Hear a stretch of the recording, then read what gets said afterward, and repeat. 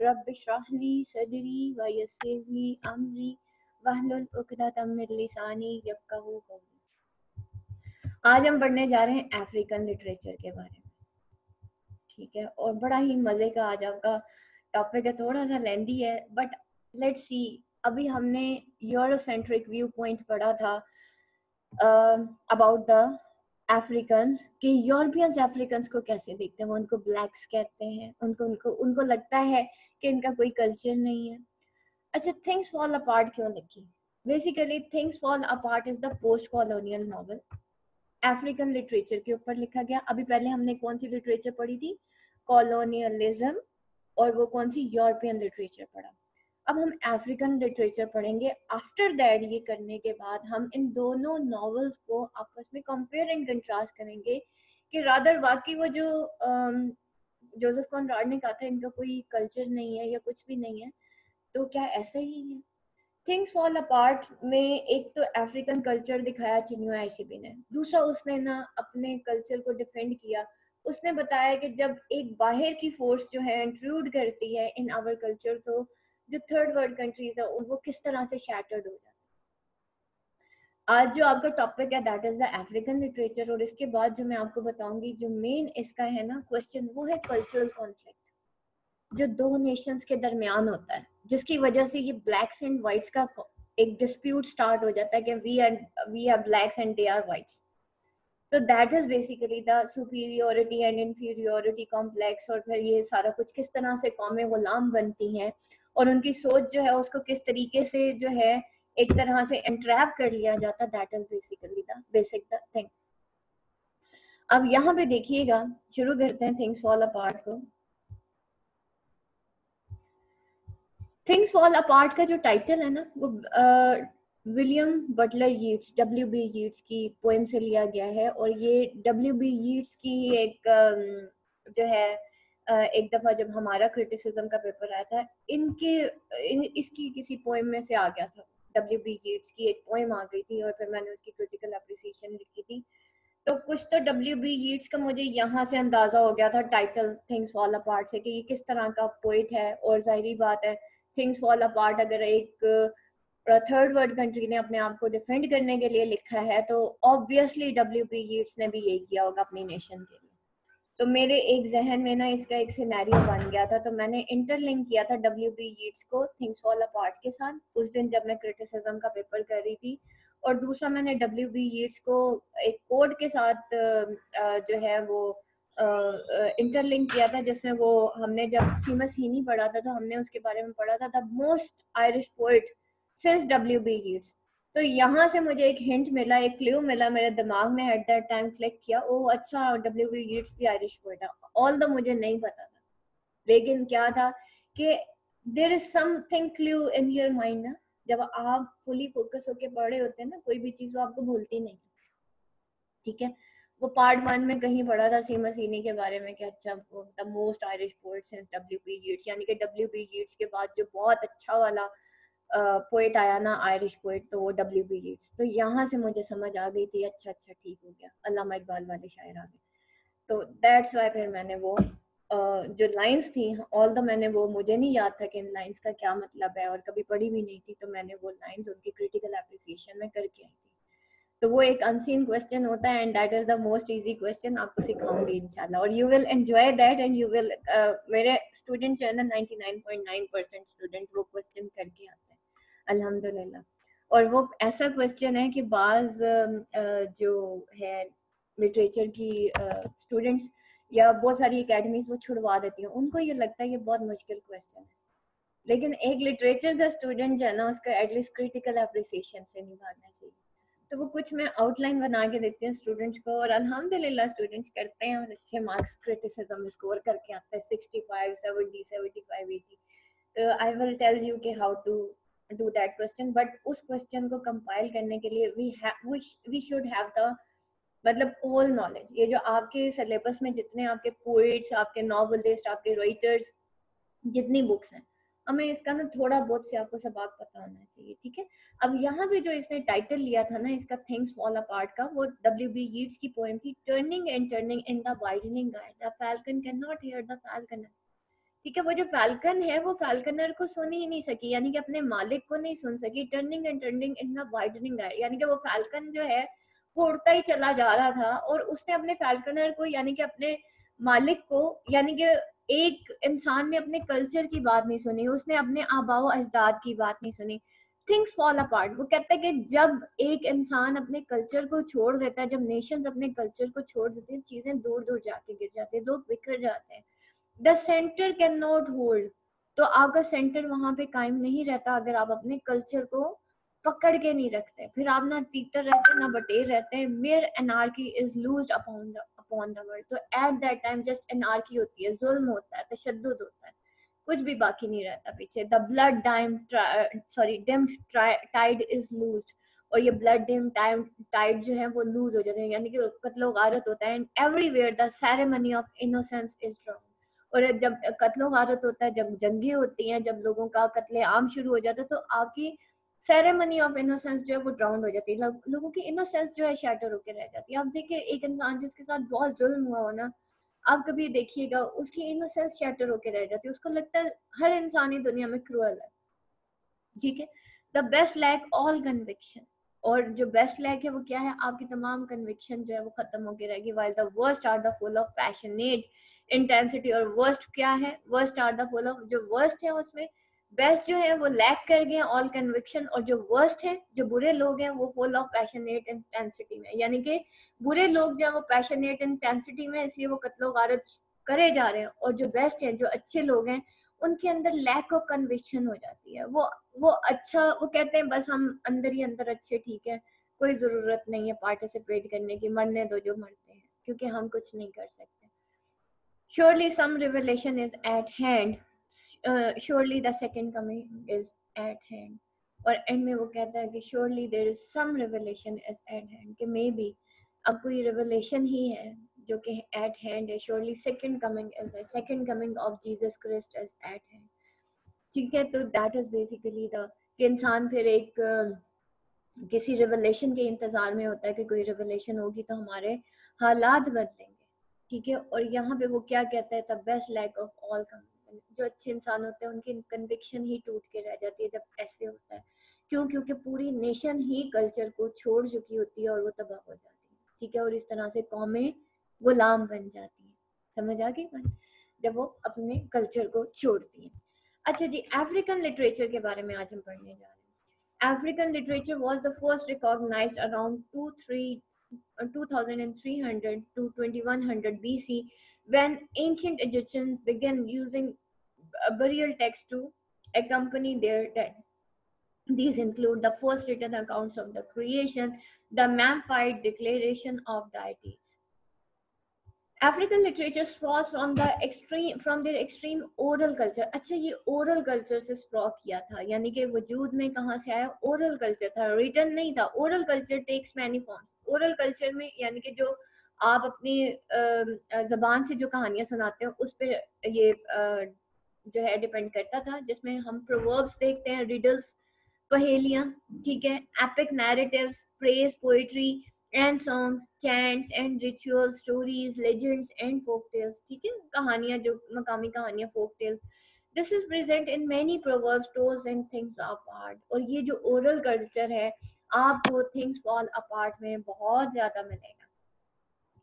With the period of colonization, African oral traditions and written works came under serious threat from outside sources. और period of colonize इस period of colonization के साथ African oral traditions और written work जो है वो क्या हुआ कि इस colonization की वजह से ये पूरा African जो oral tradition थी ये बहुत ज़्यादा threat में आ गई from outside sources. ठीक है Europeans justifying themselves with the Christian ethic.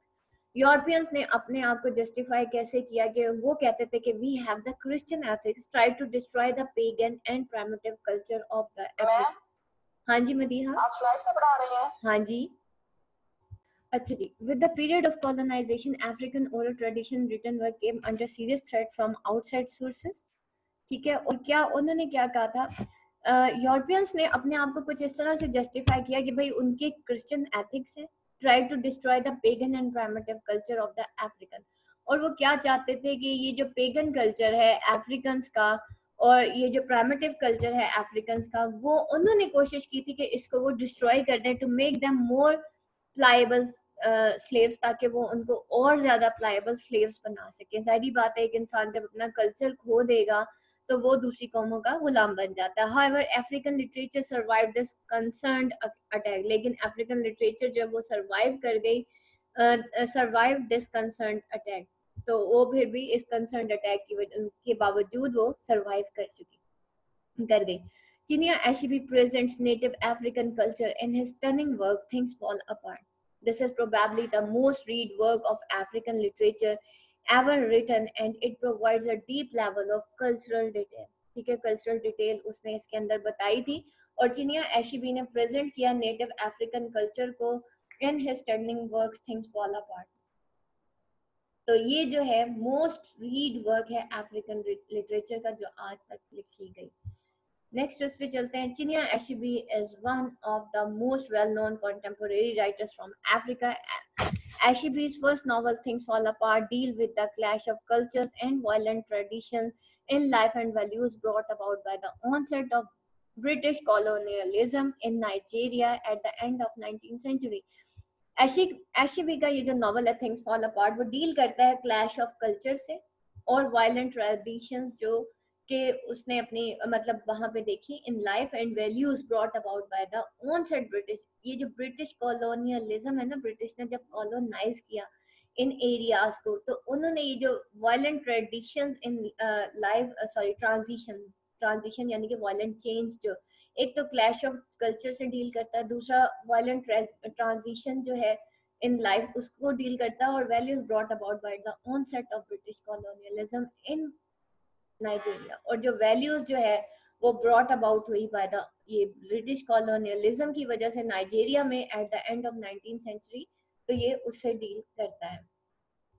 Both in Nigeria in 1930 he was raised in the large village of Ojidi ठीक है? और वो जो है 1930 में नाइजीरिया में पैदा हुआ था और रेज्ड हुआ in large village of Ojidi one of the first centres of Anglican missionary work in eastern Nigeria जो कि फर्स्ट सेंटर था Anglican missionary work in eastern Nigeria में he is graduate of university college Ibadan from uh, from 1972 to 1976 and again in 1987 to 1988.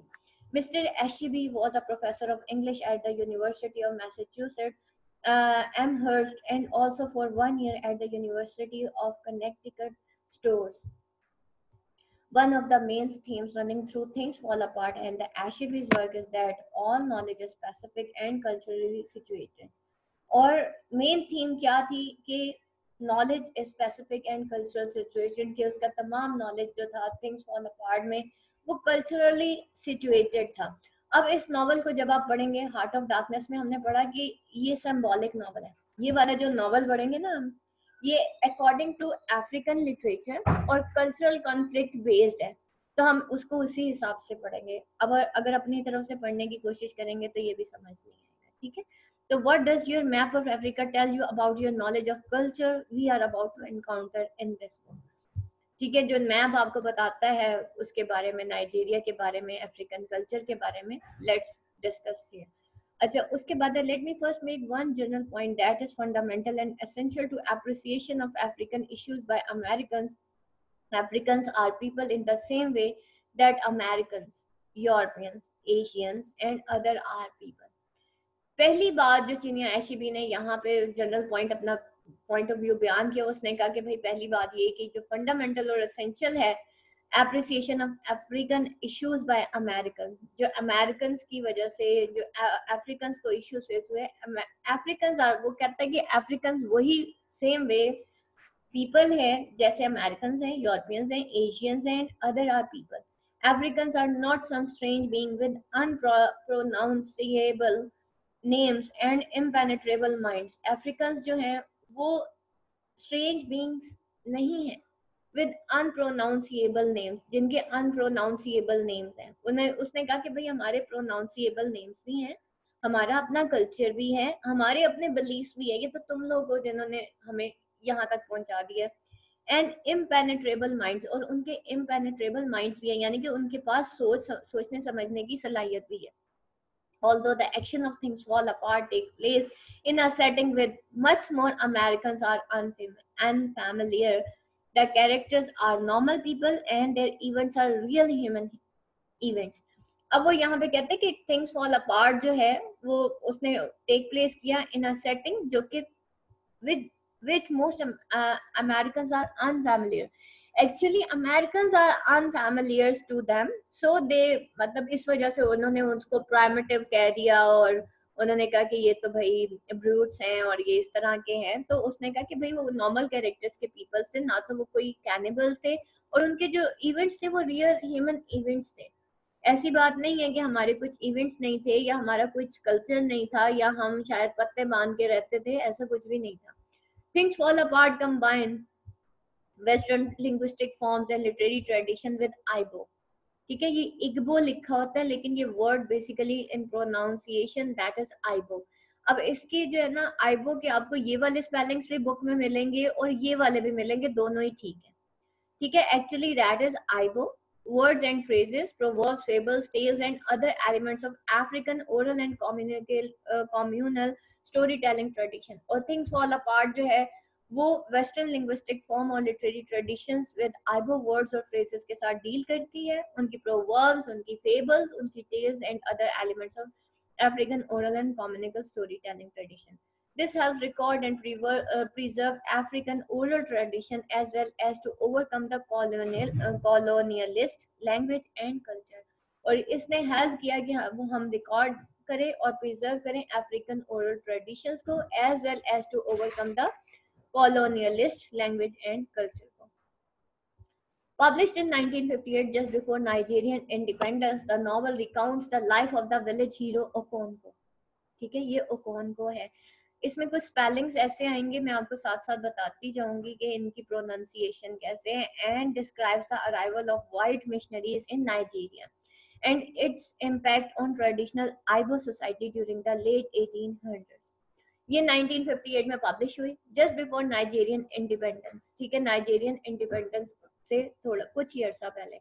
The novel recounts the life of village hero of Okonkwo Okonkwo इसका main hero है।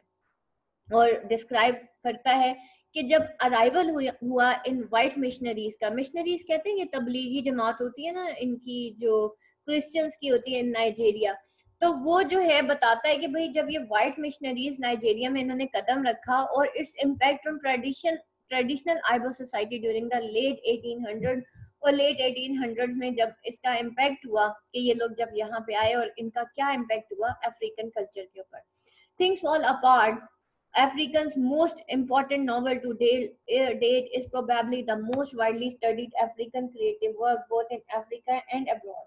The novel's universal appeal has led to its being translated into the more than 50 languages. और novel की ये जो universal appeal है वो मतलब यहाँ से अंदाज़ा लगाया जा सकता है कि इसको 50 लैंग्वेजेस में देन ट्रांसलेट किया गया Mr. Ashby has published novels, short stories, essays, and children's books. He was cited in London Sunday Times as one of the thousand makers of the 20th century.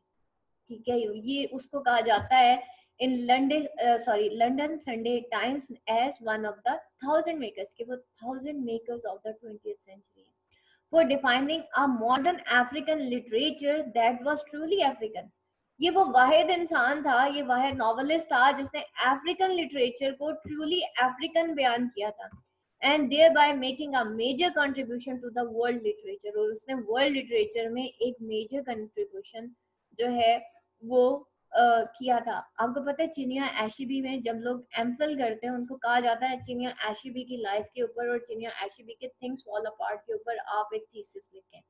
इस things fall apart के ऊपर मेरी अपनी एक colleague है, उन्होंने भी जो थीसिस अपना सिलेक्ट किया था, वो थिंग्स फॉल अपार्ट ही सिलेक्ट किया था। उन दिनों मैं मास्टर्स कर रही थी, जब वो ये कर रही थी थीसिस लिख रही थी इसके ऊपर। उनका माशाल्लाह थीसिस बहुत अच्छा गया था। माशाल्लाह वो प्रोफेसर हैं गवर्नमेंट कॉलेज में। तो उनका उन्होंने बताया था मुझे कि मैंने इस पे थीसिस लिखा था। तो ये इतना इम्पोर्टेंट एक वर्ल्ड ऑफ़ इंग्लिश लिटरेचर के अंदर इतना इम्पोर्टेंट है ये चिनिया थिंग्स फॉल अपार्ट कि थाउजेंड्स ऑफ़ स्टूडेंट्स जो है ओवरऑल द वर्ल्ड वो इसके ऊपर थीसिस लिखते हैं और इसके बगैर थीसिस जो है मतलब चंद एक हैं जिनके ऊपर थीसिस लिखा जाता है।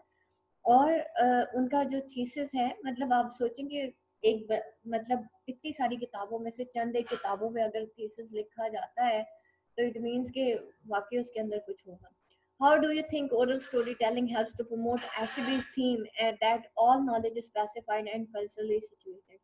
Or um, how do you think oral storytelling help to help to promote Ashby theme? आपको कैसे लगता है कि स्टोरी टेलिंग से एशबी की जो थीम है वो प्रमोट हो रही है? And all knowledge specified and culturally situated और तमाम नॉलेज जो है वो स्पेसिफिक भी है और कल्चरली सिचुएटेड भी है। कैसे हम अंदाज़ा कर सकते हैं? अच्छा जी in 1815 European countries divided up all the land in Africa ठीक है इन यूरोपियन कंट्रीज़ ने ना बल तमाम अफ्रीकन लैंड को डिवाइड कर लिया ठीक है? The land England acquired became its African colonies और जो लैंड इंग्लैंड ने एक्वायर की तो उन उन्होंने कहा कि ये अफ्रीकन कॉलोनीज हैं। In 1815, 80% of Africa was still under traditional local control. England and other colonial powers like France and Germany divided African into 50 countries. इन्होंने अफ्रीका को 50 countries में, यानी कि जिसके हाथ में थर्ड वर्ल्ड कंट्रीज़ का जो हिस्सा आता था, वो उसको कॉलोनाइज करना। ये सारी इन्होंने यही किया था यूरोपियन कंट्रीज़ ने, कि जो जो इनके इवन रशिया भी यही कर रहा था। ठीक है रशिया भी यही कर रहा था जापान अफ्रीका जिस जिस की बाउंड्रीज के ऊपर जो थे ना ये वेल डिवेलप्ड कंट्रीज़ ये कॉलोनाइज कर रहे थे। जो ये छोटे छोटे ममालिक हैं। देखें, अफ्रीका को इन्होंने 50 कंट्रीज़ में डिवाइड कर दिया था। क्यों? क्योंकि इन्होंने छोटे छोटे इनको इन्होंने कॉलोनाइज कर लिया था इन यूरोपियंस ने। जिस, जिसका जितना दाव लगता था, उतना एरिया वो कॉलोनाइज कर लेता था। They superimpose brand new boundaries over the thousand indigenous cultures and region of Africa उन्होंने जो है सुपर उन्होंने brand new boundaries over the thousand indigenous उन्होंने सुपर इम्पोज जो है ब्रांड न्यू बाउंड्रीज बना दी। Over the thousand indigenous cultures and region of Africa यानी कि हर किसी ने अपना अपना वहाँ पे कुछ ना कुछ अपना, जितना वो कॉलोनाइज कर सकते थे तो अब यहाँ पे देखे उन्होंने थाउज़ेंड इंडिजीनियस कल्चर्स और रीजन ऑफ़ अफ्रीका को ओवरकम कर लिया। The new countries lagged region and divided some group of people who live peacefully together और ये जो न्यू कंट्रीज़ थे ये लैक करते थे रीजन अब ये जो नए कंट्रीज़ बने, जो थाउजेंड्स ऑफ़ न्यू कंट्रीज़ और फिफ्टी पचास हिस्सों में उसको डिवाइड कर दिया इन्होंने अफ्रीका को, अब ये छोटे छोटे नए कंट्रीज़ तो बन गए. लेकिन ये लैक करते थे रीजन में. लाइक पाकिस्तान और इंडिया जब डिवाइड हुआ तो वी लैक इन किसमें रीजन में and divided some groups of people who lived peacefully together और वो लैक करते थे रीजन को और वो डिवाइड हो गए कुछ ग्रुप्स ऑफ़ पीपल में who live peacefully together while merging other groups who did not get along.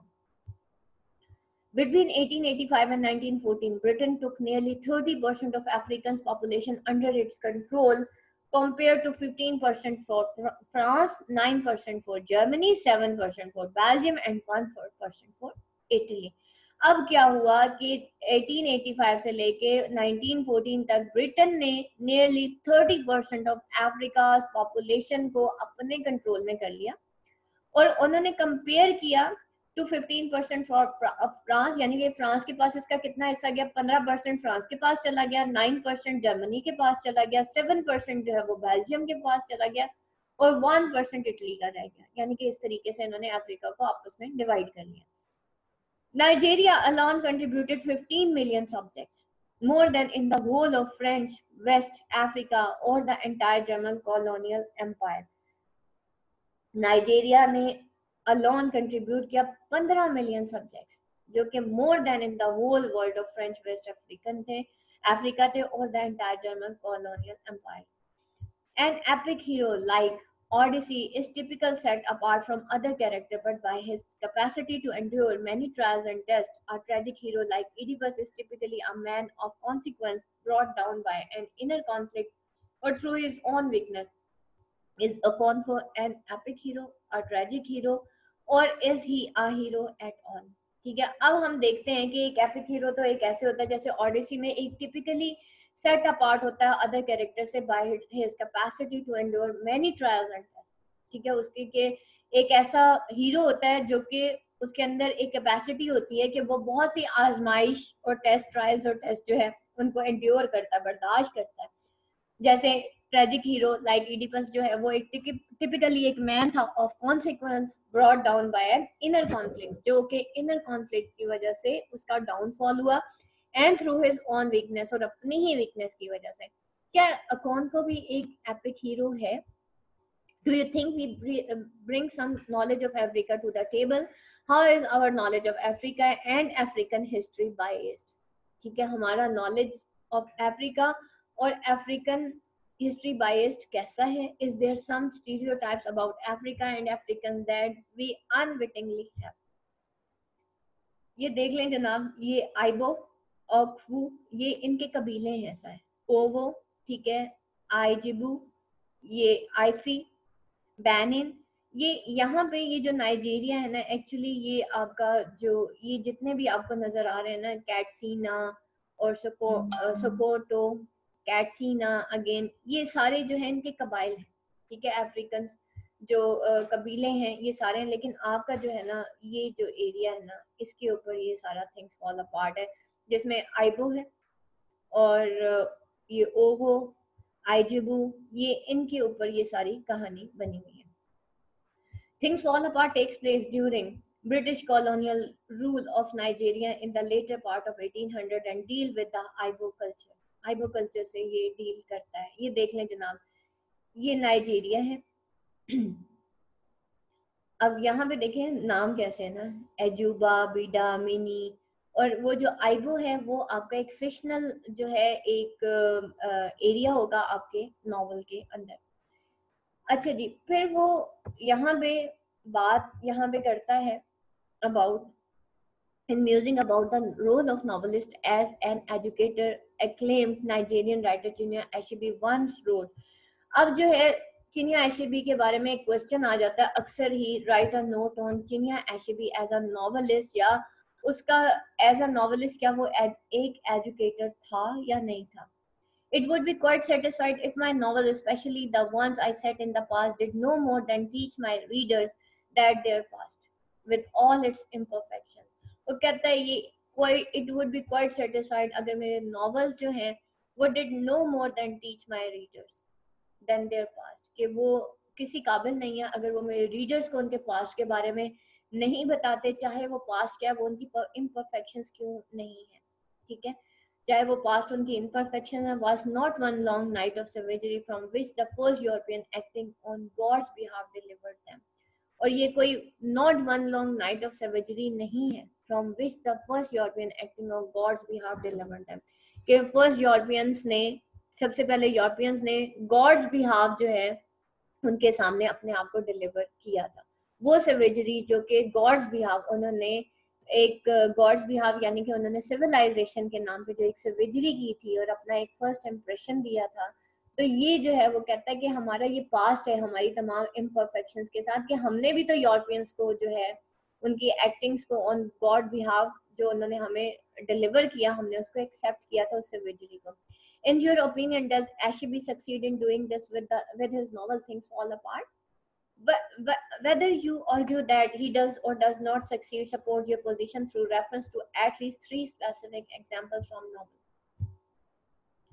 ये जनाब इसके देख लीजिएगा निजर है अल्जेरिया मैली नाइजीरिया अबूजा इबादा, लैगूस, ठीक है, ये सारे आप देख लीजिएगा इनको एक दफ़ा। अच्छा जी, अब हम चलते हैं कि कॉन्सेप्ट ऑफ़ जो हमारा थिंग्स फॉल अपार्ट है। बिलीफ सिस्टम देखते हैं थिंग्स फॉल अपार्ट का क्या था? आइबो कल्चर कैसा था? To understand the concepts in thing fall apart it is important to know about the Igbo Igbo culture also called Igbo culture ठीक है? आइबो, एक बो लिखा हुआ Belief system. Ibo beliefs were one very tribal in nature. Before Christianity, belief system revolved around one particular god named Shuku. ठीक है अब जो है क्रिश्चियनिटी इनके ना अपने अपने बिलीव्स थे ट्राइबल बिलीव्स थे यानी कि कबाइल थे ये कबीले थे बहुत सारे और क्रिश्चियनिटी बिलीफ सिस्टम से पहले revolve around one particular god और उनका एक ही पर्टिकुलर गॉड था उसका नाम शिकू था Shuku was uh, was all powerful and omnipresent God and representation, symbols and sanctuaries for him. Be found almost anywhere. शिकवू जो है हर जगह मौजूद होता था। ठीक है उसके पास तमाम पावरफुल और ओमनी प्रेजेंट गॉड था। ठीक है रिप्रेजेंटेशन थी उसके सिंबल्स थे उसके सेंचुअरीज थी for him can be found almost anywhere यानी कि उसकी प्रेजेंस हर जगह पाई जाती थी किसी भी इमेज में। homes, compounds, building and even village parks and squares would display these depictions of Shuku. और वो जो है डिस्प्ले uh, करते थे डिपिक्शंस ऑफ़ शुकु को। Also believe in many smaller deities that would compete among themselves वो जो है खुदाओं पे स्मॉल स्मॉलर डाइटीज के ऊपर जो है देवी और देवताओं के ऊपर यकीन करते थे। Chi was a god seen as individually personalised by its father अच्छा छाए जो है, मैं आपको बता दूँ, ये इनका पर्सनल गॉड होता था। वो कहता था, हर इंसान का एक पर्सनल गॉड होता है, जो उसके अंदर होता है। अगर वो नाराज़ हो जाए तो इंसान का डाउनफॉल हो जाता है, और अगर वो खुश है तो इंसान तरक्की करता है। इन केस में अगर कहूँ इनका ये जो छाई का कॉन्सेप्ट है, वो हमारा, वो जो मैं आपको बात करती हूँ ना, कि हमारी subconscious parts of subconscious mind basically that is the one ठीक है, कि इंसान की सबकॉन्शियस पार्ट जो होती है ना माइंड के इंसान का जैसा गुमान होता है, वो वैसे उसकी ज़िंदगी गुजरती है। ये लोग कहते थे कि इंसान की एक छाई होती है, उसका अपना एक पर्सनल गॉड होता है। और वो जो है अगर वो खुश है तो इंसान खुश है, यानी कि उसकी लाइफ अच्छी गुजरेगी।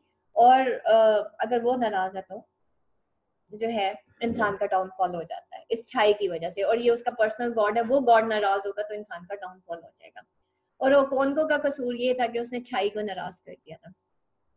The people believe strongly in one's ability to improve status in present world or after life through the change. और people believe करते थे अपनी ability के ऊपर कि वो अपने status को improve करें in the present world और after life through change. ठीक है लोग मतलब अपनी ये था जनाब एग्रूफू इनका जो गॉड था वो ये था ठीक है और these features are tutelary deities known as एलूजी और एगबारा नेक्स्ट ये देख लीजिएगा इनके पीपल और कम्युनिटी इनकी कैसी थी?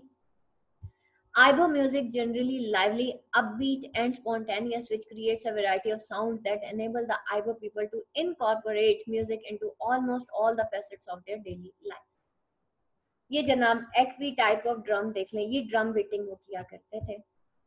उसके बाद drums were very important part of everyday life they were part of religious ceremonies and rituals ये देख लीजिएगा, ठीक है? उसके बाद ये विलेज कस्टम जो है उसमें इनके लाइफ इन यूमोफिया यूमोफिया इनका एक कबीला था was very structured and daily life had many important rituals these were important traditions for welcoming visitors for attending and respecting social status बहुत ज्यादा मेहमान नवाज थे for treatment of women for going to war getting married and for settling disputes. ठीक है ये जो है बहुत important traditions uh, they were important for welcoming visitors को वेलकम करते थे। मेहमान नवाज़ थे अटेन और रेस्पेक्ट सोशल स्टेटस करते थे। ट्रीटमेंट ऑफ़ वीमेन हम देखेंगे इसमें कैसा था। वॉर में हिस्सा लेते थे ठीक है गेटिंग मैरिड शादियाँ करते थे बहुत सारी और सेटलिंग डिस्प्यूट्स और डिस्प्यूट्स